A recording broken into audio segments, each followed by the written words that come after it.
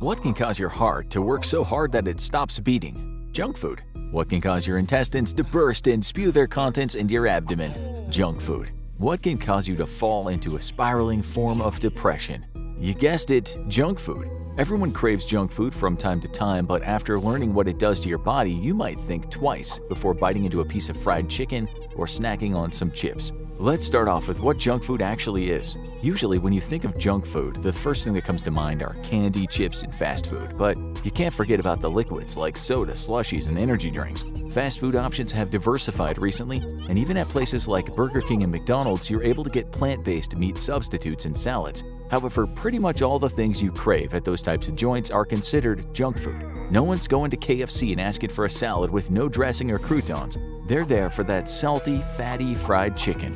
Therefore, when we're talking about junk food, what we're referring to is anything that has high amounts of added sugar, salt, or saturated fat in them. If you think about what you've eaten today, you can probably identify at least one item as being junk food. So, what are all these delicious yet unhealthy foods doing to your body? The short answer is nothing good. We're going to start with the short-term effects of eating only junk food before moving to the long-term health risks. Although long-term is relative, because if all you eat is junk food, you won't be alive long enough to even notice long-term effects. It's scary just how quickly junk food can change your body and cause serious health problems. Studies have shown that eating one meal made up of junk food a week can be detrimental to your health if you're not an active person. So can you imagine that only eating junk food every day will cause mayhem to all the systems in your body in a very short amount of time? The immediate effects of junk food are based on what you're consuming and how active you are. If you binge eat an entire bag of chips or a whole fried chicken, you're consuming a massive amount of sodium or salt. And after a very salty meal, your blood pressure might become elevated. This can cause all sorts of problems in the body, from fatigue to heart attacks. Obviously, a heart attack would be an extreme unlikelihood, and you would have to be very unhealthy for that to be a concern, but it is possible. This is especially true if you have a pre-existing heart condition or a non-active lifestyle. When you consume very salty junk food, it causes your blood vessels to constrict as the salt extracts water from them. There's a reason that over half of your body is made up of water. It plays a vital role in the circulation of all nutrient, cell function, and chemical reactions in the body. Eating extremely salty foods all the time can mess with your body's ability to maintain homeostasis or its internal balance. When your blood vessels constrict, your body needs to work harder to get oxygen and nutrients circulated to all your vital organs. On top of that, your arteries narrow, which then slows the flow of blood, exacerbating the situation even further. When all these things happen as a result of eating too much salt, you begin to feel fatigued since your body is working harder than it should to keep you going. Now you're probably going to want a soda to go with that salty food because you'll start to feel dehydrated. Plus, it'd be ridiculous not to have a dessert to finish off your meal, which leads to the next dangerous ingredient in the junk food you're eating sugar. Your body craves this stuff because it's what your cells use to make energy. Therefore, you are biologically programmed to like the taste of things with sugar in them. Mm-hmm. Junk food companies understand that at some level and take advantage of your biological programming by increasing the amount of sugar in their products so they taste good to us. These types of foods might be delicious, but they have terrible side effects almost immediately after you consume them. The problem with bombarding your body with sugars from junk food is that it forces your body to try and balance the sudden influx of glucose. Your pancreas begins dumping insulin into your bloodstream to signal to your cells that sugar is available to make energy with. Your cells then allow the sugar into them, and the mitochondria converts it to energy, hence why it's considered a powerhouse of the cell. This leads to a sugar rush, which makes you feel like you have an abundance of energy. However, we all know what happens next. You crash. Any junk food that's high in added sugars will give you this rush and then leave you feeling tired because your body panics and you quickly use up the influx of sugar, depleting it in a relatively short amount of time. When there's only a little sugar left in your bloodstream, your cells slow their energy production and it leads to you feeling fatigued and groggy. It can also lead to irritability and cravings for more sugary food. These are some of the most notable short-term side effects of eating junk food. However, the high sugar content of junk food has even worse long-term effects on your body. Each day that you consume junk food, you're at risk of developing a disease that could change your life forever. Let's get into the long-term health effects of consuming junk food so that you can learn the risks to your body and hopefully modify your diet. Over time, the high amounts of sugar in junk food wreak havoc on your organs. The sudden surge of sugar and the automatic response of the pancreas dumping insulin into the bloodstream can cause all types of long-term problems. Studies have shown that people who eat junk food a few times a week dramatically increase their chances of developing type 2 diabetes. And since you're only eating a junk food diet, but you're all but guaranteed to develop this disease at some point. Type 2 diabetes occurs when your body doesn't produce enough insulin, or the insulin no longer signals your cells to take in sugar and use it to make energy. This leads to a buildup of sugar in the bloodstream while simultaneously causing a dramatic drop in energy production. Type 2 diabetes can develop during a person's lifetime isn't something you have to be born with. This ultimately leads to a pancreas being overworked or damaged due to an unhealthy diet or lifestyle. The high amounts of added sugar in junk food are one of the things that can cause this to occur. The crazy thing is that with every meal you eat that's made up of junk food, you're rolling the dice with developing type 2 diabetes. Research has shown that consistently eating junk food can greatly reduce your muscle's ability to take in sugars and create energy. Given enough time, your cells can develop a resistance to this process altogether, which results in type 2 diabetes and the need for medical intervention. Left untreated, diabetes can be life-threatening. Too much of a good thing can definitely be detrimental to your health, and there is no clearer example of this than overconsumption of sugars from junk food. But there are so many other components of junk food that can lead to long-term health problems. In fact, there's a connection between eating junk food and depression. How could consuming unhealthy food lead to a change in brain chemistry? It actually has more to do with what junk food is lacking than what's contained in it. A 2021 study out of Binghamton University found a connection between eating healthy foods such as fruits and vegetables, nuts and fish, and an increase in positive mood and brain function. This begs the question, what happens to someone's brain who lacks nutrients these foods contain? Another way to put it is this, if all you eat is junk food, low in nutrients, what will happen to your brain? Nothing good, it turns out. It has been determined that junk food satisfies hunger in the short term, which seems to make the brain happy, but this is just an illusion. The brain might be tricked into thinking you've gotten the nutrients you need from the junk food due to the increase in available energy, but over time, your brain and body cells will begin to degrade as they don't have access to the vitamins, minerals, and antioxidants they need to stay healthy. Your body can only last so long on sugar and fat alone, and your brain eventually realizes this. It's not clear what exactly the trigger is, but some studies suggest that people who consistently eat junk food are around 51% more likely to develop depression than people on a healthy diet. This is a staggering number. It really makes you think if the short-term pleasures of eating junk food are worth the risk of developing long-term depression. The most likely reason this occurs is due to a mix of diet and lifestyle. If you're eating junk food all day every day, you're probably not very active. This has a cascading effect on the brain.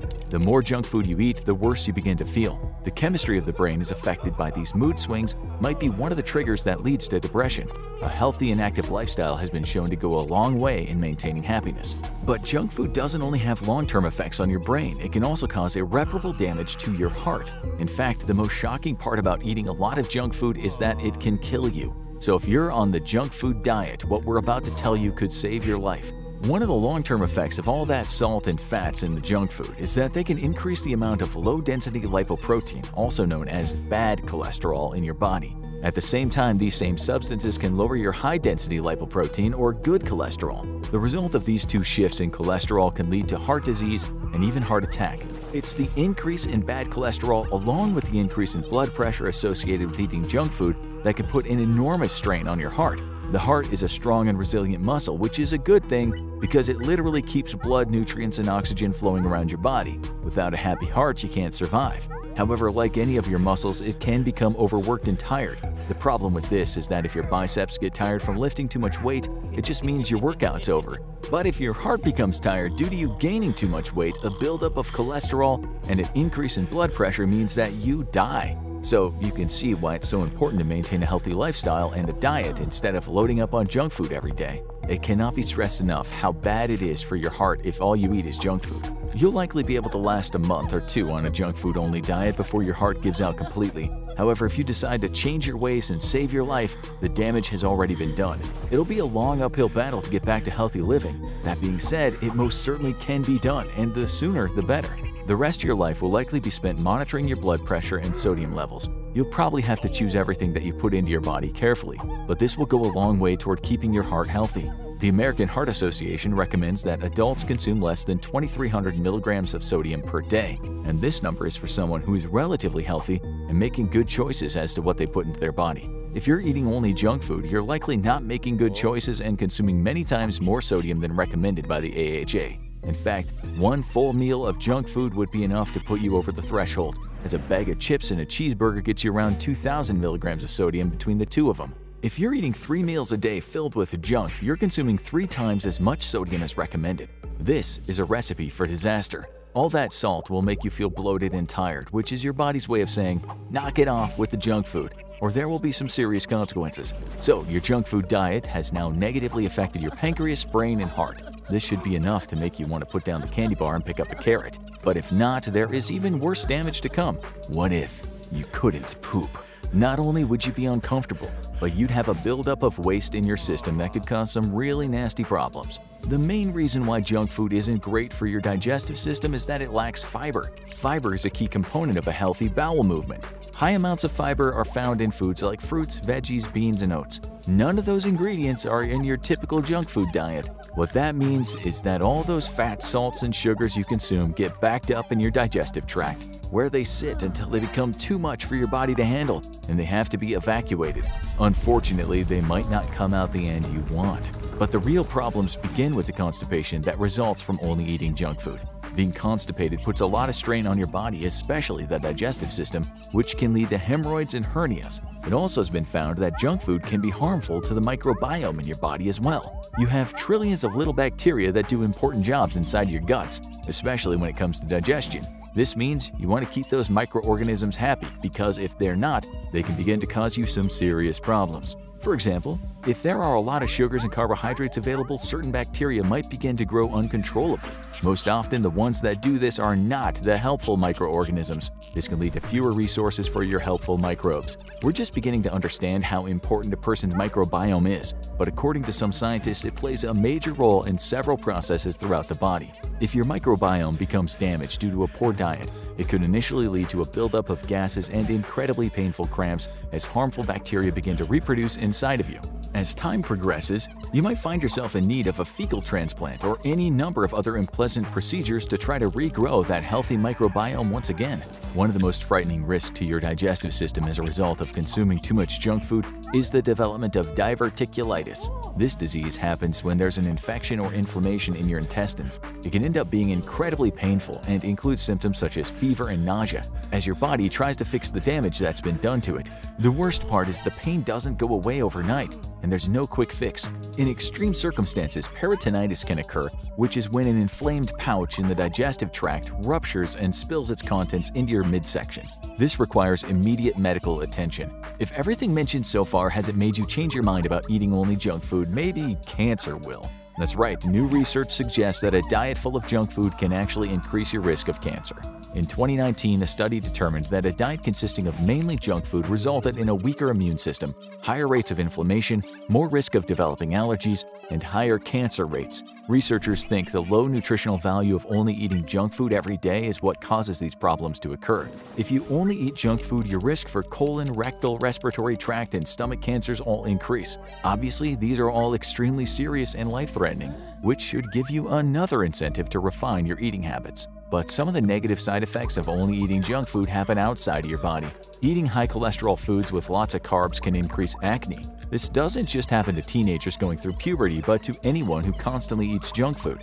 Even young children are at risk of skin diseases if they consume too much junk food. One study found that adolescents who eat junk three times a week are more likely to develop eczema than children on a healthy diet.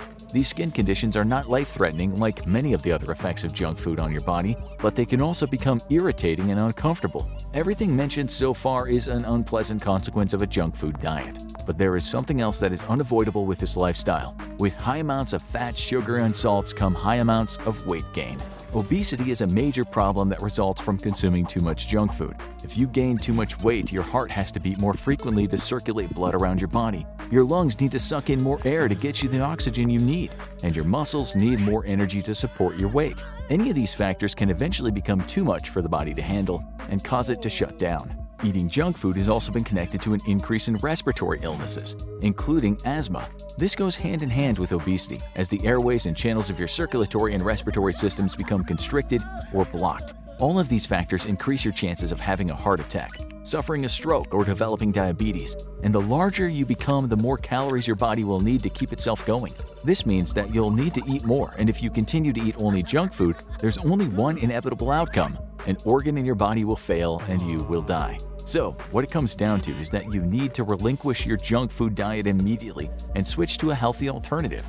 We're not saying you can't eat any junk food. In fact, some research suggests that indulging in junk food occasionally might help you with weight loss and can be a morale booster. However, there is absolutely no benefit to eating only junk food. So the recommendation by some nutritionists is to allow yourself a junk food meal once every week or two and savor it. But once you've had your fix, you should go back to eating healthy alternatives. That being said, there are definitely some junk food options that are worse for you than others. Here are 5 different ones that you probably didn't know were causing your body distress. Pizza is delicious, there's no denying it. However, not all pizza is created equal. An average slice can contain 680 milligrams of sodium, 12 grams of fat, and 300 calories. And when was the last time you had just one slice when you ordered pizza? To be fair, there are some pizzas that are made with more fresh ingredients and less grease than others, which adds nutritional value while reducing the junk part of the food. On the other hand, a fast food meal of burgers and fries has very little upside to it. One of those meals can consist of 1,200 calories and up to 1,700 milligrams of sodium,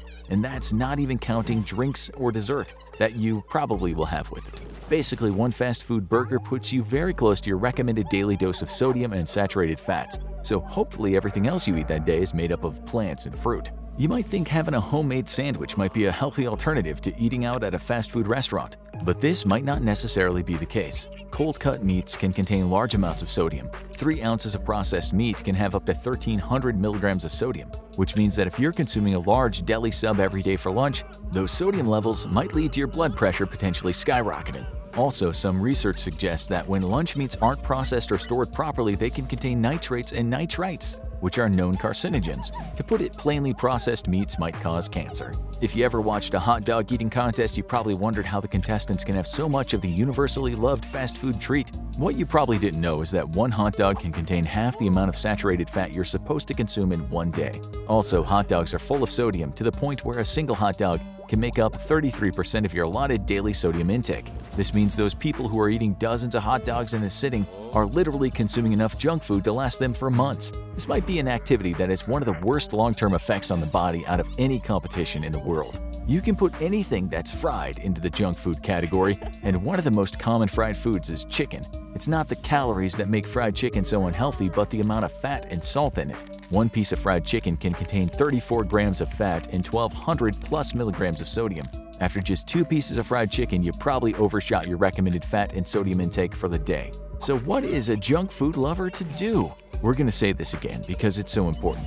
Eating a junk food only diet will end up killing you in one way or another. Depending on who you are and how active your lifestyle is, you might be able to live a couple of months if you only eat junk food. However, most medical professionals agree that your body would give up sometime between 1 and 10 weeks if all you ate was junk food. If you really need to get your junk food fix from time to time, that's okay, just don't do it every day. Most nutritionists agree that having a cheat meal every now and then is alright as long as the majority of your meals consist of healthy food. In order to protect yourself and the people you care about from succumbing to one of those nasty side effects of eating too much junk food, there are a couple of things that can be done. Education is always key. Make sure to read the food labels of the things you put into your body. You might be surprised to find your favorite snack is incredibly high in salt or sugar, and it might be time to cut back a bit. Also, it's important that kids from a young age begin to think about what's healthy versus what's not. Many people who rely heavily on junk food for sustenance were never taught about the detrimental effects it can have on their bodies. Therefore, cooking meals with lots of vegetables, fruits, lean meats, and fish is a great way to start introducing others to delicious foods that are good for them. When making decisions about your own diet, some nutritionists recommend using the 80-20 rule. This means 80% of the food you eat should be healthy and full of nutrients, while 20% can be from the junk food realm. Ideally, you'll want to find healthy foods that you enjoy and satisfy your hunger so that more than 80% of your daily intake is from those sources, but this is not always possible. Even if you try and eat one healthy meal every day, it can have a huge impact on your overall health. Any reduction in junk food is going to be good for you, no matter how small. As a rule of thumb, if you're trying to stay away from junk food, you should cut out fried food, highly processed food, and anything with added salt or sugar from your diet. And if you're just not sure what the best options are, don't be afraid to ask your doctor. They'll be able to point you in the right direction. Now watch what happens to your body when you stop drinking alcohol, or check out what happens to your body if you never move.